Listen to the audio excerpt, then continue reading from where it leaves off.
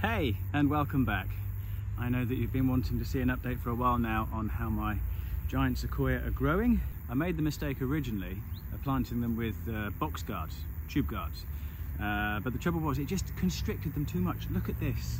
They like to branch out, but they still need protection from deer and other wildlife. Otherwise, your poor little tree, poor little sequoia can get eaten very quickly. So these are now all upgraded to their uh, cage guards.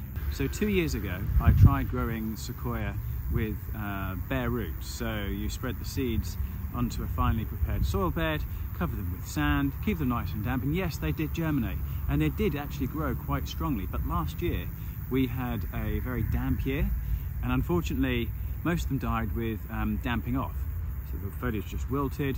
Um, they didn't do very well, but one thing I did notice, and I'll show you a picture of now, is that when I dug one up, the roots were very long and they'd gone straight down. Aftercare is a huge thing, which is why I'm here today watering these. And if you want your giant sequoia to do well, I would suggest guards, mulch, wood chip is your friend. Because if I was to dig down here, you'll see the ground is cooler underneath, it's damper. And that works in the summer when it's very hot, but also in the winter. It keeps the ground temperature regulated, keeps the moisture in and the sun off of the soil, and it lets all the little microbes and fungus work under there in harmony with the tree, which will prosper.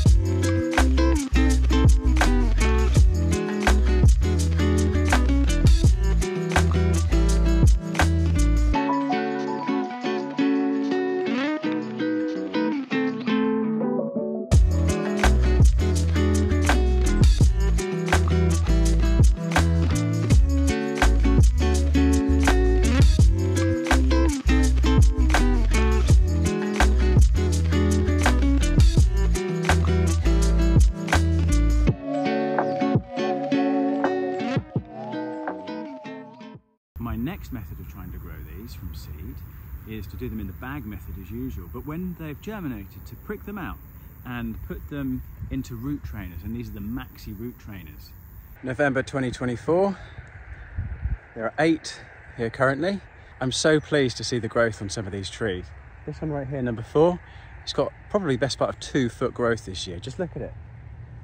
The other's doing really well. The uh, couple we planted earlier this year, they're pushing on through. And the exciting thing is, at home I've got 10 more to join their ranks this winter, which I'll be planting out soon. It's lovely to see.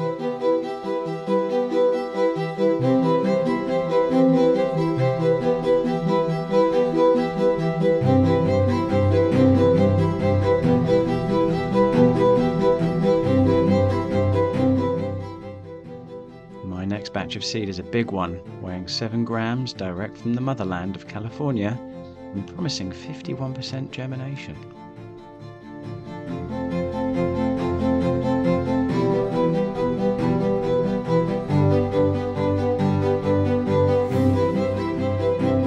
Check back in future years for updates. Every year I want to take a little video diary of how these guys are doing and how their new family, extended family is coming along. So watch the space. Thanks for watching.